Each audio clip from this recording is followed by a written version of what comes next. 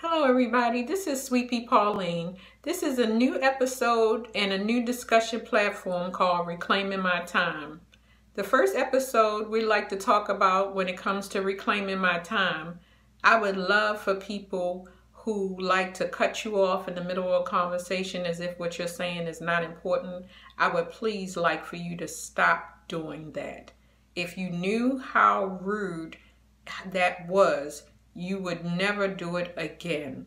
Some people think that what they say all the time is something significant while the things that you speak about are insignificant.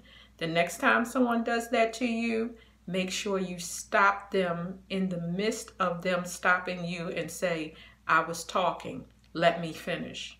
If they have a problem with it, then don't say anything else. But know at the end of the day, you have reclaimed your time and they will think before they cut you off again. Have a good day.